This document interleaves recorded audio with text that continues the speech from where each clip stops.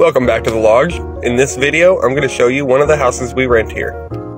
And this is one of our more popular houses, if not the most popular. Coming into our right, we have a full laundry room with a sink and plenty of room for folding your favorite clothes. Now we're going to check out this first bathroom.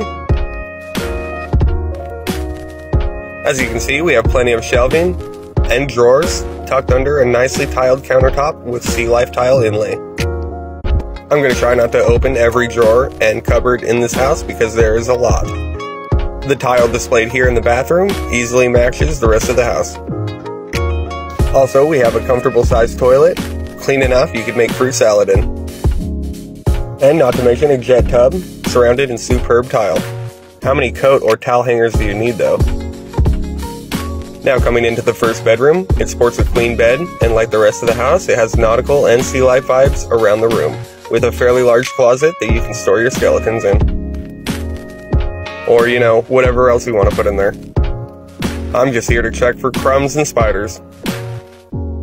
Now let's head into the kitchen and check out this beautiful hardwood floor on the way there. And uh, let's see if this uh, chair still rocks. Oh, yep, she does. Now let's take a look at this full kitchen and dining room with loads of shelving and enough cooking and dining ware for a party. And this house has probably more drawers and shelving than I've seen on the whole property. At least in any single unit.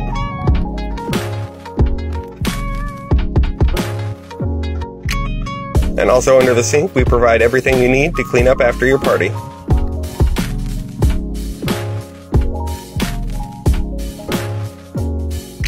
This kitchen not only has a glass cooktop, but a double door fridge and a full oven. And let's take a look into this fridge.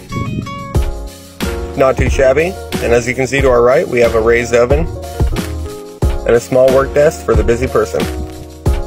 And we also have a fully set living room, comes with a gas fireplace and a chimney that goes all the way up to the ceiling, a full entertainment center, two couches, Check out this stained glass window. And we can't forget about this balcony with beach access just feet away. This is going to be a two part video, and if you want to see upstairs, follow or share to a friend to see part two.